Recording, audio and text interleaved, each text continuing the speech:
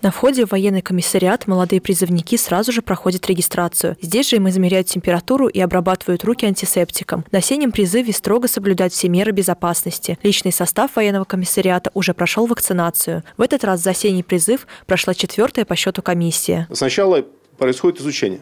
То есть до э, начала призывной, призывной кампании проходит изучение призывника.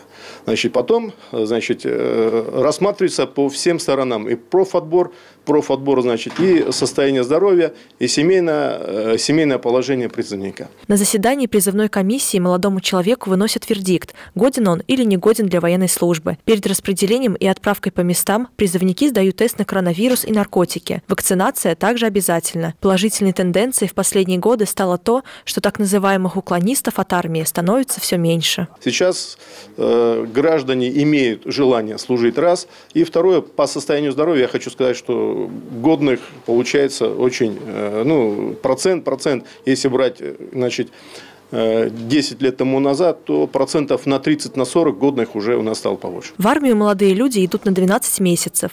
Также этот год можно заменить службой по контракту. Многие призывники остаются и дальше служить в вооруженных силах нашей страны. Помимо меня в семье еще два брата есть. Один уже а, служит в Нижегородской области, и старший на подходе, ну, я тоже, соответственно, с ним вот в этот призыв попал. Проходим вот сейчас обследование, и по результатам которого уже будет ясно, да, готовы мы или нет. Осенний призыв проходит с 1 октября по 31 декабря. За эту кампанию ряды вооруженных сил пополнит около 30 саровчан. Призывники будут распределены по Западному военному округу – Подмосковье, Калининград, Ленинградская область, Санкт-Петербург. Светлана Ярунова, Евгения Шевцова, Сергей Рябов. Служба новостей Саров, 24.